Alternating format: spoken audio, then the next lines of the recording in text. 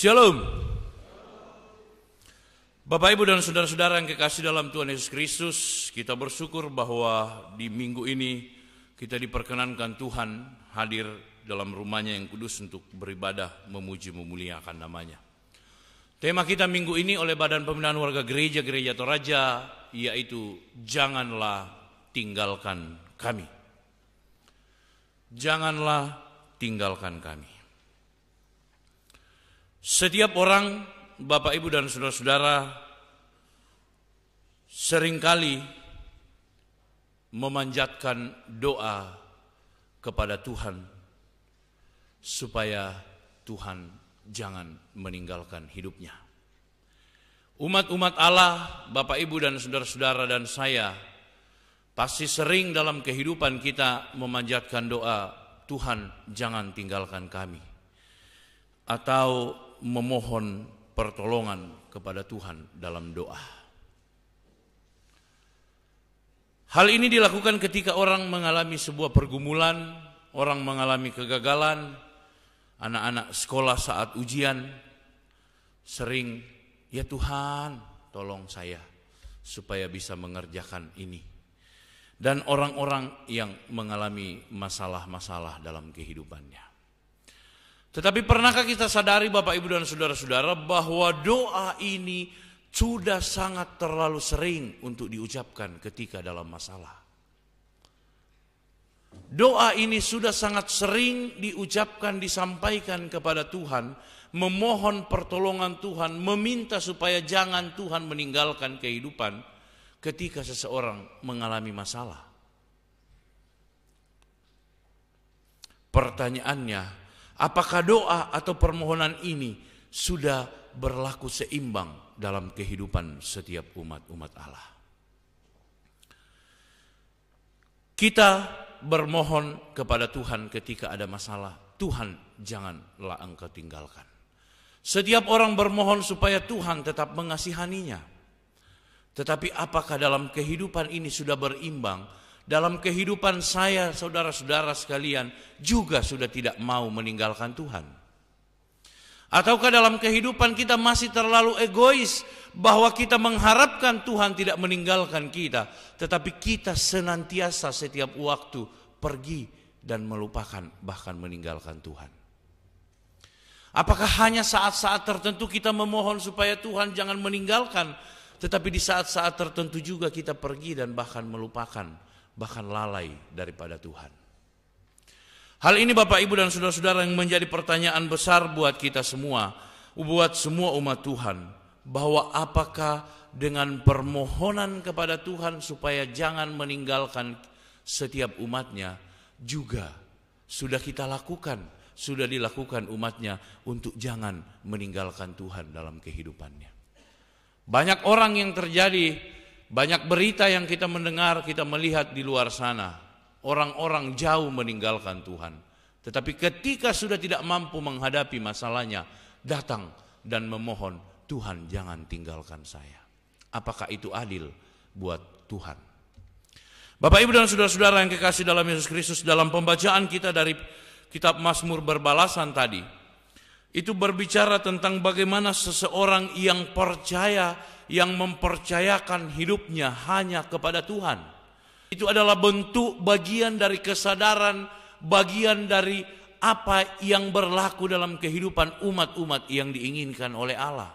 Mendekatkan hidupnya kepada Tuhan, selalu mendambakan kehadiran Tuhan dalam setiap perjalanan kehidupannya. Kehadiran Tuhan dalam kehidupannya, mereka katakan adalah melebihi segalanya di dalam hidupnya.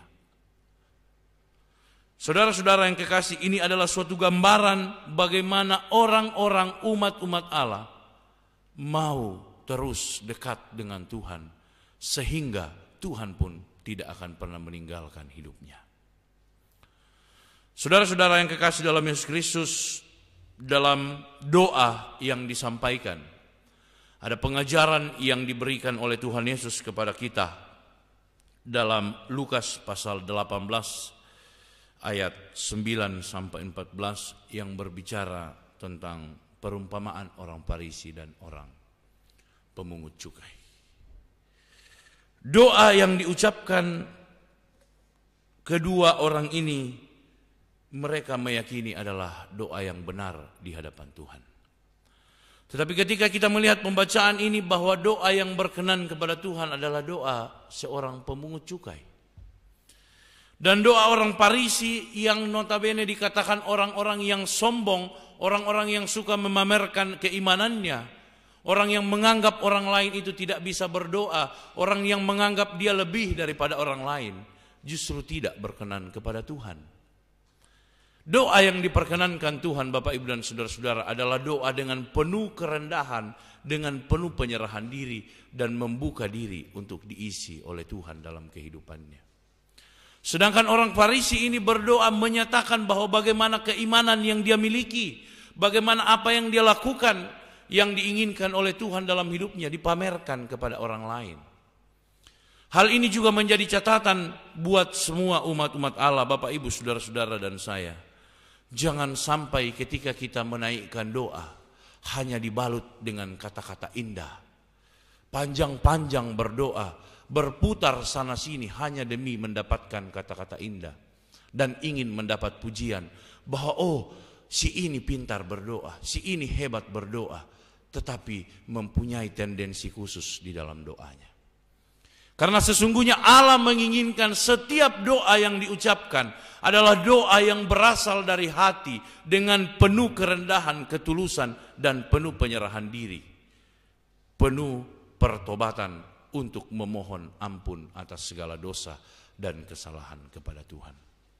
Dengan demikian doa seorang pemungut cukai yang datang kepada Allah menengadah, menghadap ke langit pun dia tidak sanggup karena dia menyadari dia adalah orang yang berdosa. Berbeda dengan seorang pemungut cukai yang menengadah ke langit menyampaikan saya sudah berpuasa, saya sudah bukan pemungut cukai, saya bukan orang perampok, saya bukan ini dan itu. Tetapi yang diperkenankan Tuhan adalah doa seseorang yang penuh dengan penyerahan diri dan pertobatan kepada Tuhan. Dengan penuh permohonan untuk mendapat belas kasihan daripada Tuhan. Nah Bapak Ibu dan Saudara-saudara yang kekasih di dalam Tuhan, doa yang diinginkan adalah doa yang penuh makna, doa yang sederhana, tetapi memang betul-betul dari hati memohon pertolongan kepada Tuhan. Saudara-saudara, dalam pembacaan kita pada kali ini, dalam tema kita yang didasarkan pada bahan utama kita dari kitab Yeremia pasal 14 ayat 1 sampai 9, Hal ini berbicara terkait dengan dampak yang terjadi dalam kehidupan umat percaya ketika terjadi bencana yang dialami oleh bangsa Yehuda. Dari ayat 1 sampai ayat 6 ketika kita membaca Bapak Ibu dan Saudara-saudara, ini adalah sebuah gambaran bahwa tidak ada lagi harapan yang mereka bisa andalkan, yang mereka bisa harapkan dalam kehidupan bangsa Yehuda pada saat itu. Dikatakan Yehuda berkabung pada ayat kedua, pintu-pintu gerbangnya rebah dan sedih terhantar di tanah. Saat menyuruh mencari air, air tidak ada, mereka menjadi malu. Pekerjaan di ladang oleh petani sudah terhenti. Dan masih banyak hal lain. Rusa betina di padang, keledai berdiri di atas megap-megap seperti serigala, matanya menjadi lesu. Ini adalah gambaran bagaimana bencana yang dialami oleh bangsa Yehuda akibat pemberontakannya dan tidak ketidaksetiaannya kepada Allah. Nah, apa yang terjadi Bapak Ibu dan saudara-saudara? Mereka mendapatkan semua itu karena tidak mau mendengar, tidak mau setia, tidak mau memasrahkan kehidupannya kepada Tuhan, tidak mau kembali kepada Tuhan. Malah kita melihat dalam pembacaan kita pada ayat yang selanjutnya bahwa bangsa Yehuda berkabung.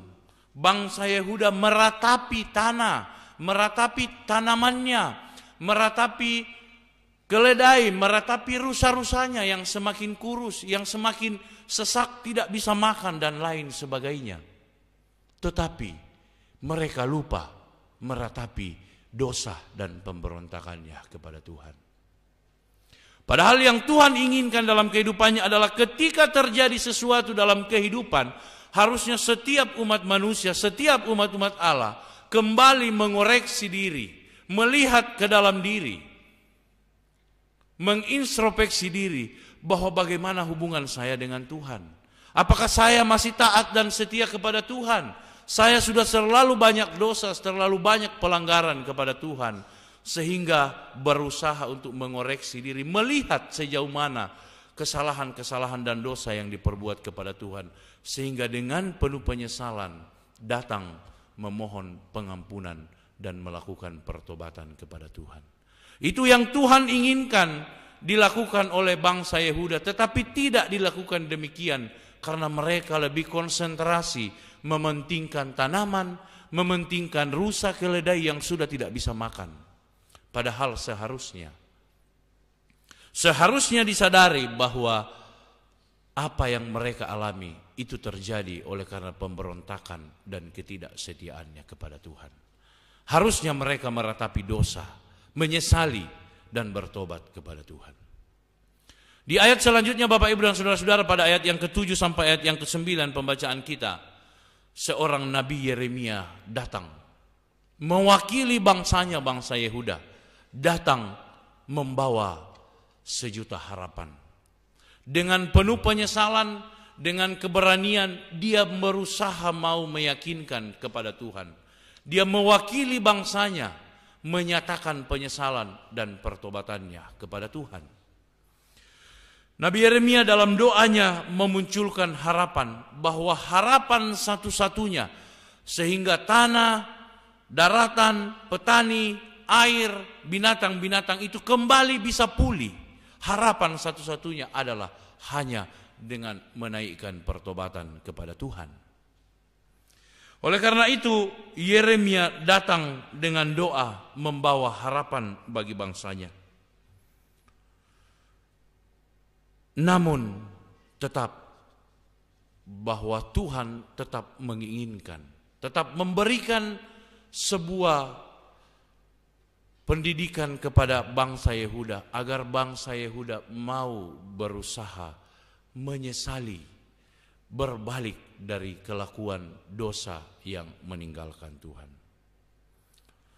Nah, saudara-saudara yang kekasih dalam Yesus Kristus, hal ini juga banyak terjadi di sekitar kita ketika ada bencana, ada pergumulan, sakit, penyakit, bahkan gangguan, hambatan dan rintangan orang lebih banyak sibuk dengan urusan-urusan untuk bagaimana penyakit ini datang, bagaimana masalah ini, bagaimana proses penyelesaiannya tanpa mau melakukan introspeksi, tanpa ada yang memberikan pengertian yang baik untuk dapat meyakini bahwa hanya kepada Tuhan itu harapan selalu ada. Nabi Yeremia datang dengan penuh penyesalan dengan memeriksa seluruh kehidupan bangsanya, dia menyatakan kepada Tuhan penyesalan dan dosa, memohon pengampunan. Dengan dia meyakini, Nabi Yeremia tetap meyakini pada ayat yang ketujuh Bapak Ibu dan Saudara-saudara, sekalipun kesalahan-kesalahan kami bersaksi melawan kami, bertindaklah membela kami ya Tuhan oleh karena namamu Sebab banyak kemurtadan kami telah berdosa kepadamu. Ya pengharapan Israel penolongnya di waktu kesusahan. Inilah doa yang disampaikan oleh Yeremia dan pengharapan yang disampaikan kepada bangsa Yehuda di tengah-tengah bencana, di tengah-tengah krisis yang mereka alami. Sehingga Yeremia dengan membawa harapan itu, mereka meyakini Yeremia sangat yakin ketika datang kepada Tuhan menyesali dosa, ketika menyandarkan kepada Tuhan semua harapan dan doanya, maka pasti Tuhan akan mau memberikan kelegaan kepada setiap umat yang datang berharap kepadanya. Demikian juga dalam kehidupan kita Bapak Ibu dan Saudara-saudara. Beberapa kali dalam khotbah saya sampaikan bahwa tema bahwa pengantar ketika kita masuk di dalam gedung gereja ini. Di depan pintu, di atasnya pintu, itu sebuah ayat yang sangat menyejukkan hati. Marilah kepadaku semua yang letih lesu dan berbeban berat. Aku akan memberikan kelegaan kepadamu. Kalau mau keluar nanti lihat di atasnya pintu ayatnya. Sehingga ketika kita memasuki ruangan ini, ketika kita mau beribadah kepada Tuhan yang masih mempunyai beban berat, yang masih mempunyai hambatan, tantangan, rintangan, dan pergumulan hidup, serahkanlah di sini. Di sinilah tempatnya serahkan kepada Tuhan segala pergumulan itu. Dan kita pasti yakin Tuhan satu-satunya harapan yang akan memberikan kelegaan dalam setiap kehidupan manusia. Amin. Bapak, Ibu, dan saudara-saudara yang kekasih dalam Yesus Kristus, dengan melihat tema kita pada saat ini, ada tiga hal penting dari pokok pembacaan kita yang kita bisa pelajari. Yang pertama, bahwa akibat dosa dan pemberontakan dan ketidaksetiaan manusia, maka alam beserta isinya pun ikut merasakan akibatnya. Kita harus menyadari Bapak Ibu dan saudara-saudara yang kekasih dalam Tuhan bahwa apa pun yang terjadi dalam kehidupan kita, untung malang sukacita dan duka cita, kita yakin itu adalah kehendak Tuhan. Amin. Ketika kita meyakini itu adalah kehendak Tuhan, maka juga dalam pembacaan kita juga sudah diterangkan bahwa ketika pemberontakan manusia, ketidaksetiaan manusia terhadap Tuhan, alam pun beserta isinya merasakan dampaknya. Orang-orang bangsa-bangsa Yehuda melakukan pemberontakan ketidaksetiaan kepada Tuhan. Mereka tidak memiliki air. Binatang-binatang piaraan tersiksa. Petani tidak bisa memanen. Orang-orang tidak bisa melakukan pekerjaan karena krisis dan bencana yang mereka alami. Sehingga dengan demikian kita dituntut oleh Tuhan kepada setiap umat-umat yang percaya kepada Tuhan bahwa dalam tingkah laku perbuatan setiap kita umat-umat Tuhan hendaknya selalu disandarkan kepada kehendak Tuhan. Hendaknya selalu didasarkan pada apa yang diinginkan Tuhan dalam kehidupan kita sehingga hidup kita selalu merasakan kenyamanan dan ketentraman bahkan kedamaian dalam hubungan dengan sesama, hubungan dengan alam dan hubungan khususnya dengan Tuhan. Yang kedua Bapak Ibu dan Saudara-saudara bahwa doa adalah sebuah harapan yang selalu muncul dalam situasi apa pun juga. Dalam situasi bencana yang dialami oleh bangsa Yehuda, seorang Nabi Yeremia datang dengan doa syafaat, mengaku menyesali segala dosanya dan selalu berharap akan pertolongan Tuhan. Di tengah-tengah pergumulan, di tengah-tengah kehidupan apa pun yang dialami, hendaknya doa menjadi salah satu, satu-satunya. Hendaknya doa menjadi satu-satunya sesuatu yang paling penting untuk menyandarkan seluruh persoalan kehidupan kita kepada Tuhan. Karena kita meyakini oleh kekuatan doa yang dinaikkan dengan penuh kerendahan, dengan penuh ketulusan dan penuh penyerahan diri kepada Tuhan, kita meyakini Tuhan akan mendengarkan setiap doa-doa kita. Amin. Yang ketiga Bapak Ibu dan saudara-saudara yang kekasih dalam Yesus Kristus bahwa selalu ada harapan di tengah kesukaran hidup. Bagaimana gambaran yang disampaikan oleh Yeremia ketika dikatakan musim kering itu terjadi. Tidak ada tanda-tanda kehidupan. Tetapi Tuhan selalu menitipkan sebuah harapan bagi orang yang mau berusaha mencari dan menggapai harapan itu. Harapan selalu ada di tengah-tengah kesukaran. Ayat 9 menyatakan kepada kita, Mengapakah engkau seperti orang yang bingung, seperti pahlawan yang tidak sanggup menolong, tetapi engkau ada di antara kami, ya Tuhan, dan namamu diserukan di atas kami. Dengan harapan ini Bapak Ibu dan Saudara-saudara membangkitkan kembali semangat bangsa Yehuda dan Yeremia. Dengan harapan ini juga membangkitkan kepada setiap umat-umat Allah Bapak Ibu Saudara-saudara dan saya sehingga di setiap pergumulan, di setiap tantangan, di setiap pencobaan yang terjadi dalam kehidupan pribadi, keluarga, persekutuan dalam kehidupan masyarakat, hendaknya kita selalu menyandarkan harapan itu kepada Tuhan yang dibawa lewat doa dan kerinduan kita untuk bertemu. Untuk menyampaikan doa dengan penuh ketulusan dan kerendahan kepada Tuhan. Janganlah tinggalkan kami. Ini adalah sebuah harapan terakhir yang disampaikan oleh Yeremia. bahwa dia meyakini Tuhan ada dalam kehidupan bangsa Yehuda dan dia memohon kepada Tuhan, Tuhan janganlah tinggalkan kami. Ada harapan untuk masa depan umat-umat Tuhan yang disediakan bagi orang yang mau berjuang meraih harapan itu. Ada harapan yang diselipkan oleh Tuhan dalam setiap perjalanan kehidupan umatnya bagi orang yang mau mendapatkan dan meraih harapan itu. Meraih harapan yaitu dengan pertobatan, dengan doa, dengan permohonan kepada Tuhan. Saudara-saudara yang kekasih, dan harapan kekuatan, pengharapan yang diharapkan itulah juga dirasakan oleh Rasul Paulus. Dalam pembacaan kita pada kitab Timotius, kedua Timotius pasal 4 tadi, Rasul Paulus dikatakan pada ayat yang 6, mengenai diriku, darahku sudah mulai dicurahkan sebagai persembahan dan saat kematianku sudah dekat. Rasul Paulus dalam pelayanannya kepada Tuhan selalu dalam ancaman. Selalu dalam bahaya, tetapi dia selalu menitipkan harapannya lewat doa kepada Tuhan. Dia selalu menyampaikan kegalauan, pengharapan hanya kepada Tuhan. Dalam tantangan yang dialami, dalam menyampaikan berita kebenaran firman Tuhan, Rasul Paulus menyampaikan doa dan permohonannya. Dia meyakini bahwa apa pun yang dilakukan, untuk pekerjaan dan pelayanan kepada Tuhan, pasti Tuhan akan selalu menyertai. Hari ini di jemaat kita akan memilih pelayan-pelayan Tuhan. Kisah Rasul Paulus yang mengalami banyak tantangan, banyak hambatan dalam pelayanan pekerjaan Tuhan.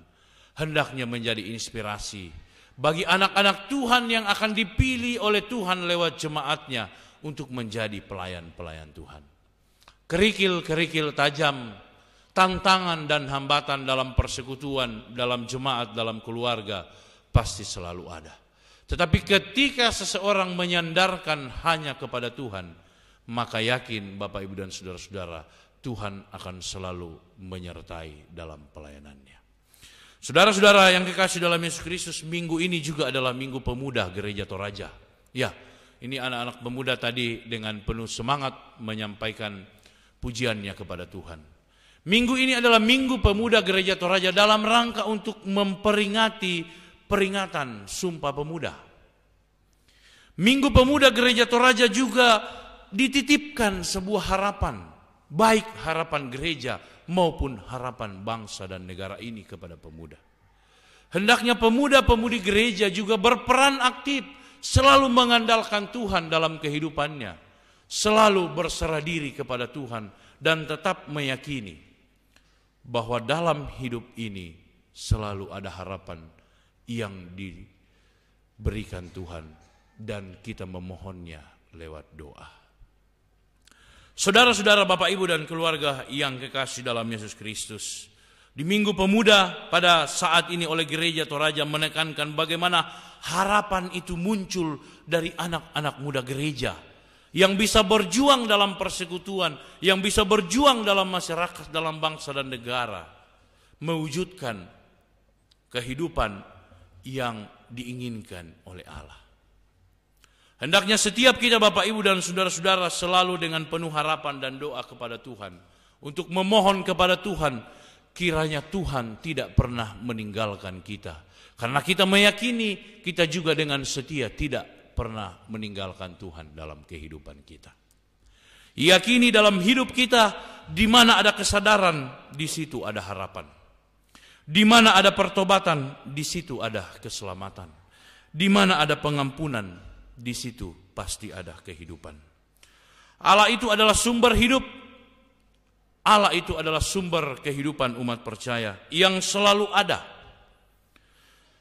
Mendekatlah dalam hidup dengan pertobatan dan permohonan yang penuh kesadaran kepada Tuhan agar Allah juga dekat dalam kehidupan setiap kita.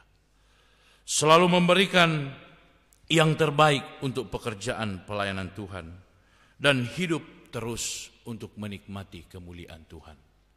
Tuhan tidak akan pernah meninggalkan umat yang selalu berharap dan setia kepadanya.